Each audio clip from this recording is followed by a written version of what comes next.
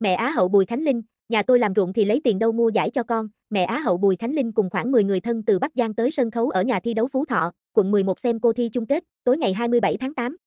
Bà Bùi Thị Ánh, 51 tuổi, mẹ Khánh Linh, ngồi đợi tới 0h20 sáng hôm sau để gặp, chụp hình cùng con gái. Bà Ánh nói mình xúc động, tự hào khi Khánh Linh giành danh hiệu Á hậu một Miss Grand Việt Nam sau 3 lần thi nhan sắc, tôi vui vì con luôn cố gắng, quyết tâm và lần này có vị trí cao.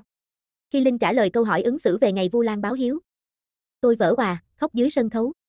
Tôi thương và yêu con nên đến giờ vẫn còn run, bà nói, bà Ánh tiết lộ Khánh Linh là con gái thứ hai trong gia đình ba anh em.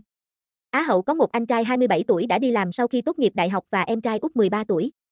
Theo bà Ánh, con gái sinh ra trong gia đình thuần nông, từ nhỏ đã rất chịu khó, biết phụ bố mẹ làm ruộng và việc nhà.